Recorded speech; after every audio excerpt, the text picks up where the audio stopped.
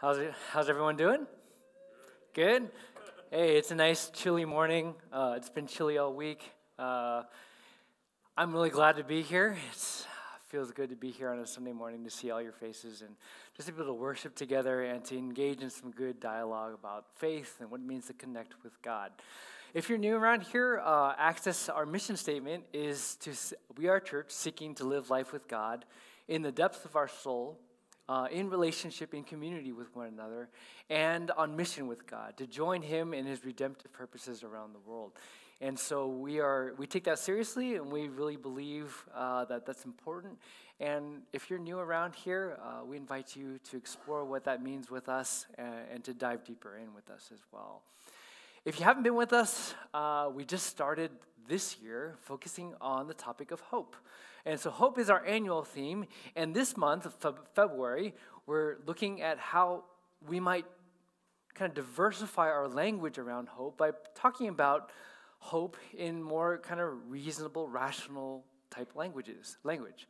Um, our series is Mind Your Faith. Mind Your Faith. And so the reason why we kind of dove into this topic at the beginning of the year is because last, um, back in 2018, I got in several conversations with people who wanted to go deeper with God, but found it difficult because of different doubts or different reasons that they had bothering them in their minds about who God might be or how they might, uh, or what Christianity was or what it meant to be in a relationship with God. And so, um, part of the engagement that God has with us is He invites us to, to love Him with all of who we are our heart, soul, and our mind. And sometimes the story that's out there is that in order to really believe, you kind of have to set aside your thoughts, set aside your rational side. And that's not the case at all. That's not the way that God engages us. Our faith is not a blind faith. I know that's a term that's thrown around a lot uh, in different circles, and it's used in popular culture to talk about how people uh, of the Christian faith might engage with their God. But uh, blind faith is not what we have. God actually has and gives, has given us reasons to believe. Um, historically, um, this has also been a divide that has happened between uh, different worlds uh, the scientific community, uh, some of the academic community, and the church community. And because these uh, different worlds got separated a couple hundred years ago, there are social and historical reasons why we often tend to see faith and reason as very two distinct different ways to know the world. But let me assure you, um, God engages our whole being. And He doesn't want you to simply believe in something you don't know. He wants to be a God who engages all of us in all of our thinking, in all of our reasoning, in all our rationality. So, today we're going to be talking about faith and science. So, it's mind, your faith, and your science. Um, and we're going to start today by looking at a passage of Scripture. Um, and then we're going to be talking about how this divide between faith and science uh, evolved over time and then we're going to talk about some ways that we can reimagine a better relationship. How can we move forward in this life together? How might faith and science strike a new path together? So, as we enter into this scripture today, let me just lead us in a word of prayer, invite God to lead our thoughts in our time together. Let's pray together. Dear God, we just come before you this morning. Thank you for being here. Thank you for leading us. Thank you for inviting us into this deeper relationship that we can have through Jesus. And as we consider your word this morning, I just pray that your Holy Spirit would just move here, that we, as listeners, as we attend to your scripture and to your words, would just remove, uh, that you would just remove any obstacles to our faith, any obstacles that are hanging us up this morning. And I pray, Lord God, we are listening to you. Help us to follow you with our whole being. In Christ's name, amen. All right. So, we're going to talk about this passage from Isaiah. And this is an interesting passage of scripture um, that comes in the Old Testament. And to give you a little bit of context, we first need to remember where things began in the Bible. Genesis 1 begins with God creating the universe and God creating human beings. The very beginning of Scripture tells us there's a difference between God and humanity. God is eternal, He's transcendent, He's beyond. God is God, and we are created human beings. There's a fundamental difference between who we are and who God is. We are not God. We are we don't know everything. We are not eternal in that sense. God is. And so in the book of Isaiah, God frames it this way for his people, and he reminds them who he is. And he says this For my thoughts are not your thoughts, neither are your ways my ways, declares the Lord. As the heavens are higher than the earth, so are my ways higher than your ways, and my thoughts than your thoughts. And this distinction between God and humanity is so vital for how we're going to move forward in our message today. It's really important for us to understand this difference. This is our key text for understanding the basics of how faith and science are going to work together. We'll come back to it in different ways throughout today. But let me try and explain to you what this means in, um, a couple other forms. So, this is a quote from an author named Karen Armstrong, uh, who wrote the book, The Case for God. In our democratic society, we think that the concept of God should be easy and that religion ought to be readily accessible to anybody. That book was really hard, readers have told me reproachfully, shaking their heads in faint reproof. Of course it was, I want to reply. It was about God but many find this puzzling. And what she's pointing out here is that we do think that knowledge should be accessible by all. And yes, it kind of is. In, in, our democratic society, we want to believe that everyone can understand everything. But is that really the case when it comes to God? God, if we take that Isaiah passage seriously and remember what Genesis says about this difference, when we talk about God, there should be a healthy level of respect because we're we're trying to connect with a being who is eternal. Um, another way to put it. So, years ago, um, my daughter, uh, Mia, uh, in her kindergarten class, had a uh, class pet. Her name was Patches. She was a rabbit uh, with white fur and black patches, so that's the name. And one weekend we had a chance to take Patches home for the weekend. So Patches came home to live in our household. Uh, and Patches was a pretty intelligent bunny. Um, someone in the class had trained this bunny to be potty trained. So I find that pretty fascinating. I didn't know rabbits could do that, but this rabbit knew where to go to the bathroom and wouldn't, you know, poop all over your home. I mean, that was the idea, and really, she didn't. It was it was pretty incredible. Um, and so the kids had fun all weekend long playing with Patches. Um, but Patches there's a fundamental difference between human beings and rabbits. Um, as much as we tried, as much if, if you wanted to try, um, rabbits have intellectual uh, limits. They can't understand everything. And even if you tried, even if, even if we got the best math tutor for Patches, let's say, she would not be able to understand the Pythagorean theorem. It just doesn't work that way. It's impossible uh, language differences conceptually uh, is beyond the intellectual ability uh, of a rabbit to understand uh, higher level geometry. Now, um, why do I bring this up? Because this is exactly what Isaiah is talking about. When we say that God's thoughts are not our thoughts and his ways are beyond our ways, we are understanding there's a fundamental difference between who God is and who we are as human beings. Now, um, onto this topic for today. Why is there a conflict between science and faith? How did we get here? Uh, and to begin talking about this, um, I want to say, first of all, that there wasn't always this conflict. This conflict didn't always exist. Uh, in fact, uh, many church leaders and many scientific leaders back in the day were both one and the same. Uh, so when I was in seminary, I remember hearing about this guy. Uh, his, his name is John Wesley. He's a church leader, founder of the Methodist movement. um, that you may have heard of, uh, a brilliant man who led the church in many significant ways, but he gave some advice to young pastors. And I, remember when I first heard this, I jot this down. I thought it was so interesting. He advised young ministers who were going into church ministry to learn four things. First of all, learn how to share your faith. Really important to be able to communicate that well to others. Learn how to pray. Learn how to pray. We can get that. Learn how to read Greek and Hebrew. So it's basically reading the scriptures in their original in their original languages. Now, all those three things um, are what most of us seminary students were engaged in, and that made a lot of sense. Uh, but this fourth one was kind of interesting. He also said, learn philosophy and learn geometry. And for him, it didn't really kind of stand out as unusual. This was just kind of like his advice to young ministers.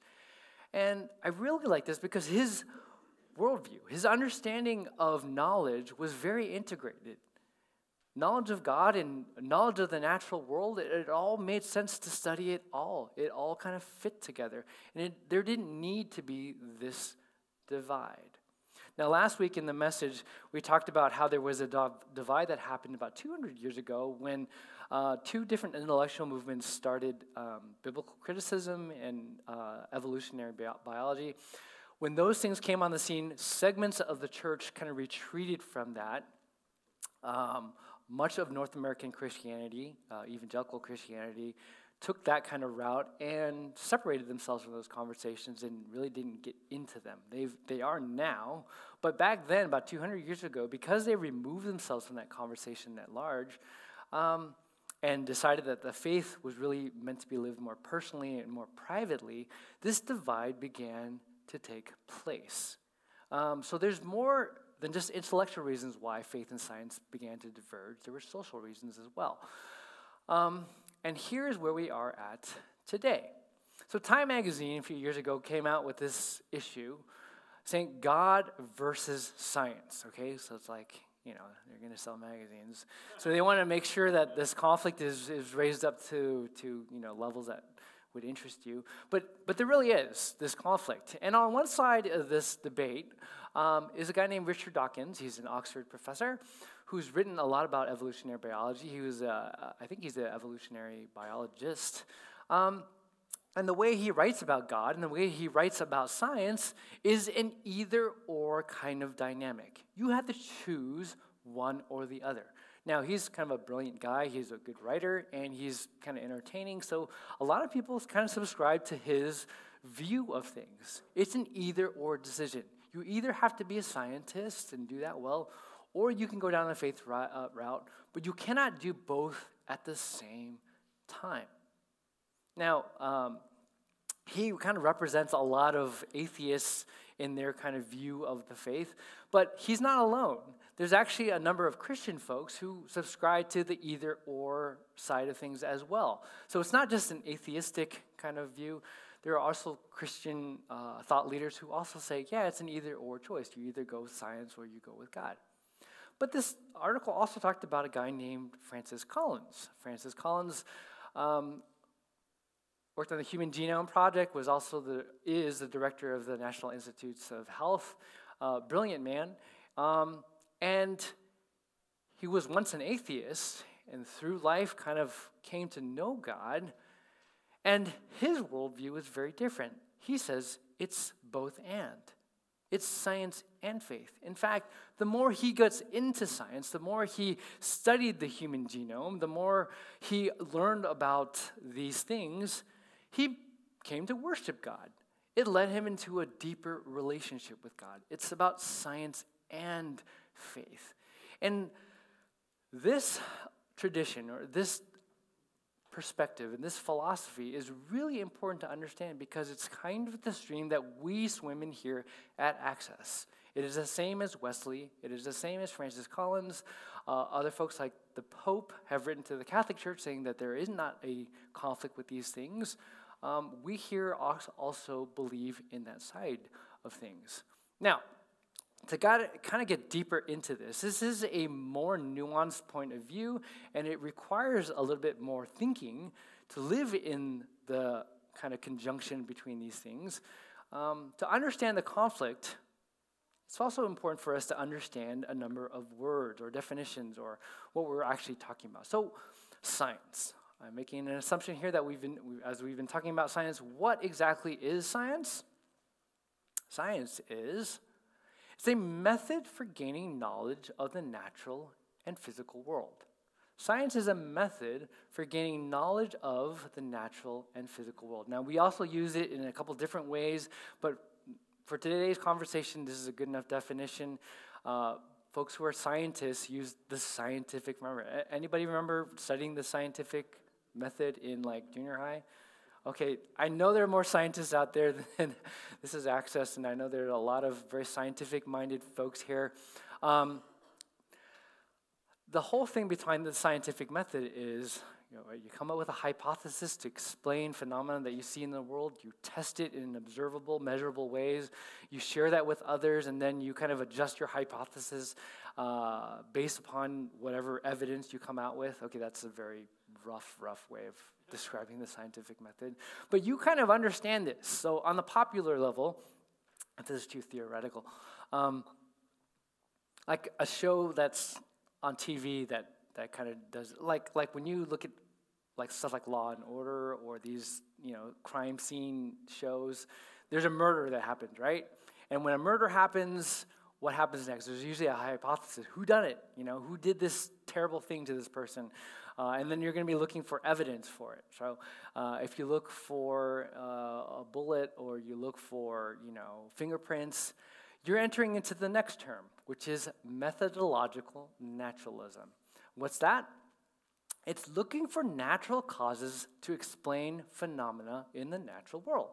So you're going to look for explanations for what you see, the effects that you see, and you're going to look for them within the realm of the natural physical world around you. Good science requires you to do methodological naturalism. That's pretty basic. You're going to look for natural reasons to explain natural phenomena. Now, if you begin to verge off that path, like maybe vampires did it, or maybe, you know, you think it's Thor from Asgard or something, you have left methodological naturalism. You've entered into the Marvel universe. And while that's very fun, that's, that's not the same as science and methodological naturalism. As much as they like to think that they're scientific, no, it's not. Um, all right, so a couple more terms here that are important for us to understand. Um, scientism. What is scientism? It is a philosophy that says that the only valid knowledge is knowledge gained through science. It's a philosophical position that says that the only sure thing that you know is knowledge that is based upon that scientific principle, that scientific method. If you follow that, you know things for sure. Other things we don't know. Now, it's pretty easy for us to begin kind of tearing down scientism or begin looking at that as actually, that's not a great philosophy. We actually know a lot of things. Um, even our so called scientific knowledge is not always based on science. Like, how many of us here believe um, that we are composed of molecules and atoms and, you know, photons and Electrons, yes. Yeah, yeah. Okay, most of us, I know, I'm not trying to trick you. I know, I mean, I believe that, you know, but, but why do I believe that? How, why do you believe that? Well, in junior high, my science teacher told me that, and I believe it. Is it because I actually looked at an electron and a molecule and said, oh, yeah, that, that's what it is? Actually, no. Um, I saw a diagram in my science book. Um, it was a drawing, and I believed it. So most of our scientific knowledge, unless you're actually a scientist in the lab, some of you are, so maybe that's different. But the majority of us here believe in these scientific ideas about the world because you were told it, right? We also know some other things about our world that are not based on science. For instance, Again, I'm not trying to trick you. Um, how many of us believe here that racism is bad, is wrong, is actually evil? Right? Come on, you guys. Please. Right, right. We can raise our hands. yeah, I know it's a cold, dark morning, but um, Yeah, I believe that's to be true. I believe that's true. I believe that's right. I believe it is wrong to be racist um, and, and for uh, racist practices to continue in, in culture, to be racially prejudiced. It's, it's wrong. But do I know that because of science? Do you know that because of science? Actually, no. Most of you know that because because you were told it was right, right and wrong, uh, because of religious teaching, um, because of moral reasoning. Most of us are pretty sure it's wrong, but we didn't use the scientific method to get to that conclusion. You have moral knowledge, and that moral knowledge came from somewhere else. Now, scripturally speaking, we would say that came from the Spirit of God within you, um, and that has nudged our intuition, our moral intuition, into that area. Not everyone would say that's wrong. Anyway, anyway that's another topic for another, for the fall. Um, okay, last thing here um, is naturalism. Um, and I would say ontological naturalism versus methodological naturalism.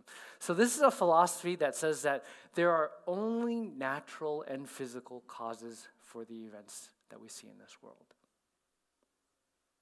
There are only natural causes for the natural things that we see in this world. That is another philosophical position. In other words, all that exists is what you can see, taste, touch, feel, or hear. Um, it takes faith to believe in the last two things. These are faith positions based on philosophy. They are not the same as science.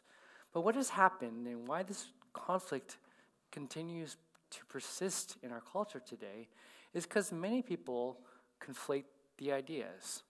They say that this is what science is, and this is what naturalism is. And it doesn't have to be that way. It doesn't have to be that way. Um, and back to this. For my thoughts are not your thoughts. Neither are your ways my ways, declares the Lord. As the heavens are higher than the earth, so are my ways higher than your ways, and my thoughts than your thoughts. And what God is telling us is this He is beyond us. And it, it makes sense for us to live humbly, intellectually humbly, when we come to this. For those of you who are followers of God, who follow Jesus, we should always have a healthy respect for who God is. He's not just, I know we like to have Jesus as our friend and sing about those things, but we also remember that God is far above and far beyond who we are. He spoke the universe into being. I mean, I speak at home and nothing happens most of the time. You know, that's God, this is me. We, we know there's a difference. Um, for those of you who might be seeking after God. And maybe you're not in a place of faith yet and you're trying to figure out if there are reasons enough to believe. I think it also makes sense to approach this with an intellectual humility. That just because you can't put God in a box, study, and come to a conclusion about it, doesn't mean that everything is done. If God is truly God, by, con- by definition, He exists beyond you. And it's not, it's not enough for you just to say that just because you don't see evidence right here, right here today, uh, that God doesn't exist for all time and eternity. Um, let me go on and explain how we might reimagine this kind of faith. Now, why is this important that we reimagine things? So, I heard this talk in 2017 from uh, uh, a professor of evolutionary biology. Her name is Dr. April Maskiewicz Cordero. I hope I said her other name right. Um, gave a really interesting talk um, about changing the narrative from an either or to a both and kind of conception of science. So, in her first year of college, um, Dr. Cordero was in our evolutionary biology class, and her professor said, it's going to be either evolution or God. You can't have both. It's an either or decision, and you, you're going to have to make this decision. Um, this confused her greatly because she believed in God and wasn't sure what to do with that. So she went to a pastor, several pastors, in fact, and asked the same question over and over. Is this true? Is it evolution or is it God? Do I is this a, a true either or decision? And all the pastors said the same thing. Yes, it is. Um, and so as she journeyed through this and came up with more and more reasons to believe in evolutionary biology, she actually decided right then and there during her freshman year that she was going to be an atheist. She put her Bible aside and said, This is where the evidence points. I need to be true to my intellectual self, and decided to go this way. So, for the next several years of her life, she was an atheist. Fast forward in time after college, she said she, she had a bad breakup. She decided to spend a year in, in Japan um, to kind of have an adventure and just kind of deal with life as best she could.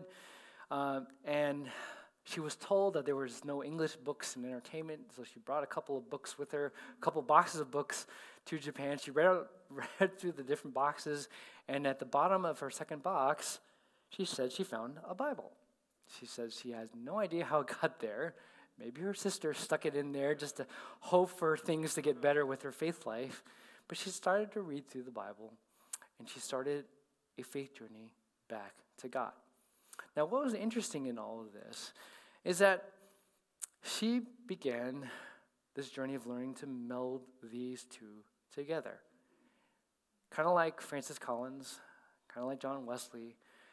And in her view, and this is what her life mission is, uh, you can actually you know, Google her name later and go to her website. It's definitely worth it to watch her videos. They're, they're great.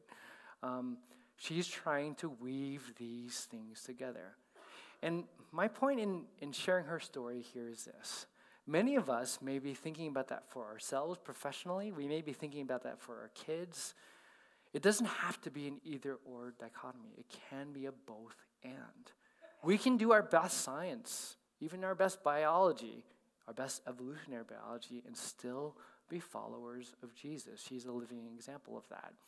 And I point back to this to be a good scientist doesn't require you to be a subscriber of scientism or ontological naturalism. It just requires you to do good science, to follow the scientific method, to follow methodological naturalism. You know? So that is one way that I might reimagine this relationship.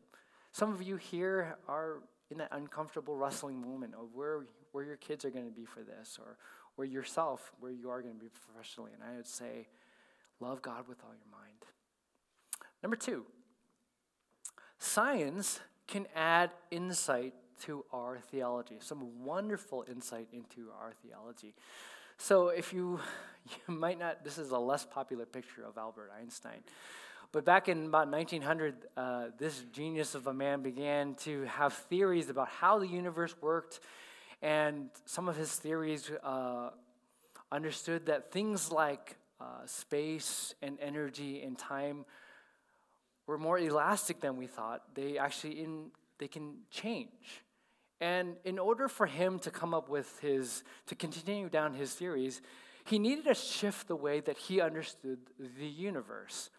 So up until that time, we believed we lived in a three-dimensional world. You know, uh, you guys know what 3D is. You know, um, he thought maybe there's a fourth dimension. The fourth dimension is time. And as he began to work out his theories and his equations, this made more and more sense. Now, back in the day, back in 1900, he didn't have these giant telescopes that could look way into the universe and see that it was expanding. He didn't have uh, particle accelerators where he could, you know, collide molecules and look at stuff. He he was, you know, theorizing about all this stuff. Um, and why why do I say this? Why do I talk about this? Um, that diagram there on, that you're looking at is an explanation of dimensions, right? So the first dimension is like a line, two dimensions is a plane, three dimensions is a cube. That fourth dimension is that cube transported through time. Um, this could yield some really, I think, some really interesting theories about God and theology. So, um, I, I realize this is kind of heady, and hopefully this isn't a turnoff for some of you, but I, I, I think this is really kind of cool. So, that first plane there is a sphere passing through a plane over time. If you lived in the second dimension, what would you experience if you saw the sphere passing through your plane? Well, you would see a circle that would grow bigger and larger over time. And now you might be tempted to think that they're different objects, but it, it's actually the same object that's going through your world. The second picture uh, is a number of different spheres, large spheres and small spheres, all, that's like a, a tangent with the plane. They all intersect the plane at a point, right? People living in a two dimensional world would have no idea how big or small that sphere is just based upon their observable world, right? You wouldn't know that's a huge sphere that just dropped on our plane, you know, you just see the dot. Or it's a small sphere. Um, you wouldn't know the difference. Why, why is this interesting? Because I think this has some really interesting implications for how we understand who God might be. So, here's a question What would happen if three fingers intersected a plane? You would get three circles, right? In your 3D world, you understand that that's all just part of one person, my hand. It's not even my whole person, it's just three fingers that are poking through the plane. You would see in 2D world three distinct circles, but they all belong to the same person. What implications might this have for our understanding of something like the Trinity, Father, Son, Holy Spirit? What implications might this have for a God being in more places than one? When we consider that maybe God lives in a dimension beyond our own, beyond fourth dimension, or where maybe fifth, sixth, seventh, eighth, ninth, tenth, you know, whatever it might be. Things that might seem really impossible for us, just almost like logically impossible for us, might not be impossible for God at all. They might be very simple for Him to interact with our world. And I think this is where science can add insight to our theology. And some of the most brilliant thinkers in science and their conceptions of the world around us and how we understand it could actually add to the way we come to explain who God might be. All right. Number three, the science and faith analogy. So, someone, I was talking with a friend this past week, and he was, I was telling him about, hey, I'm going to be speaking about science and faith. And he kind of likes this topic too, and he was talking about this great analogy between the difference of, uh, of science and faith. Uh, and one of the illustrations that he used to use when he was working with youth was like, you know, science is really like studying a bridge. You can study a bridge, you can look at the materials it's made out of, you look at the design, uh, how it's built up, uh, what kind of weight bearing load it has, all, all these different aspects of a bridge you can study. Um, Faith is getting on the bridge. It is understanding that God has invited you to get on this bridge and begin this journey with Him. They are both important. It's important to know the bridge. And if this is a very brand new road for you and you've just never seen it before, God isn't shy about you looking at the bridge. Have at it. Enjoy yourself. Enjoy the design. Enjoy the materials. Go for it. But he's also inviting you to step on and to move forward. And I use this analogy to help some of us here. Now, a number of us here at Access uh, are kind of on this journey to figure out if, if this whole God thing might be true, whether or not you want to jump in. And my question is where are you with the bridge? Where might you be? Are you still checking it out? Are you making your first step forward? Know this God, God invites you into this new world, this new kingdom, with Jesus as the way. And He is not afraid of your mind or your thoughts. He's not asking you to go in blindly. Come, know. Know that God is good. Know that His promises are true. Uh, and if you're here, maybe this metaphor might be a, a, helpful way for you to talk about where you line up in the faith and, and where you hope to be and, and what needs to happen next. I hope this analogy is helpful for you. Um, one last thing is reclaiming our curiosity and our wonder. Reclaiming curiosity and wonder.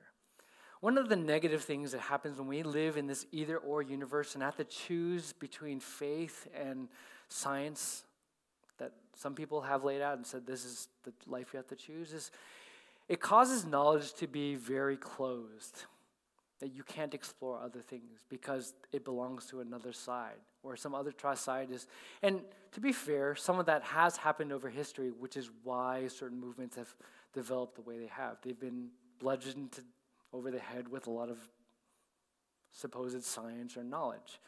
Um, if we are to move forward with faith and science together in a both and kind of a, a narrative i think it opens up again this possibility for wonder and for worship. Francis Collins writes this in his book, The Language of God.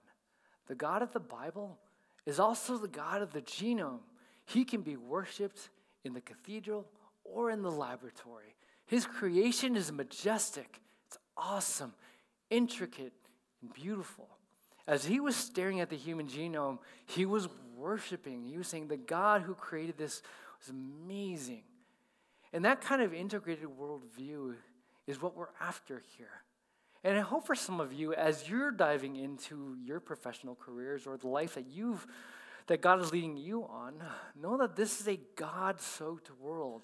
The psalmist used to declare, hey, heaven and earth are full of God's glory. So go and enjoy it. Have at it. So I don't know what this might look like for you. I was trying to think of some ways that this could be practical. I know this is Houston, and you might not want to be out in cold and rain. um, this week, uh, this morning when I woke up, I, I was watching a YouTube video. So this is my, this is my suggestion to you. This week, take five minutes, explore the natural world, and let it lead you into wonder and worship the God of creation. Let it fill your heart. Maybe it's a YouTube video, a Nat Geo video. Maybe it's like, um, so I saw this mountain biking video, and I was looking at this morning, and I saw the, the first like five comments. All of them were saying, God's creation is awesome. I was like, how did you get that from a mountain biking video? But really, when you see it, it, it is tr- it was truly amazing. Um, maybe just post it on the Access Facebook and just share it that way. Anyways, what am I getting at here? Um, I think it would be wonderful if we regained curiosity and wonder, and that science could be weaved into that whole picture that we're after. So, as we wrap up here today, this, these are a couple of conversation questions. Have you experienced the science and faith conflict in your life, or seen that conflict in those around you? Have you felt like you've had to make that either or choice of choosing one or the other? Um, what strikes you when you hear Isaiah 55? That God's thoughts and his ways are far beyond our own. And where might you be on the faith bridge? So, uh, conversations around here are, are open. Uh, you, you could jump in and participate, uh, and if you don't like it, you could always go to the bathroom, or you could just uh, say, "Hey, I'm new here. I'd rather not. Yeah, I just want to listen." That's totally okay here too. Uh, there's no obligation. But why don't you take the next three, four minutes and just circle up with the people around us, and have at it. Choose a question, talk about it, and uh, let's see where this goes.